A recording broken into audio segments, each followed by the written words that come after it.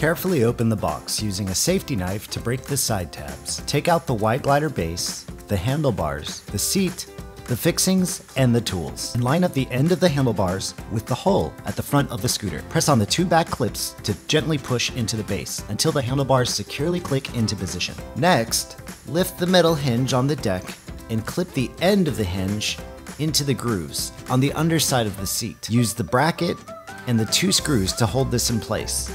Then, tighten both screws with the Allen key provided. Fold the seat forwards and set the height by slotting the front of the seat into one of the handlebar grooves.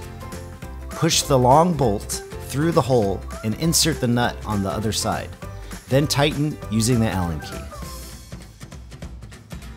And there you have it, a fully assembled Y Glider 3 in 1, ready for your child's first adventure.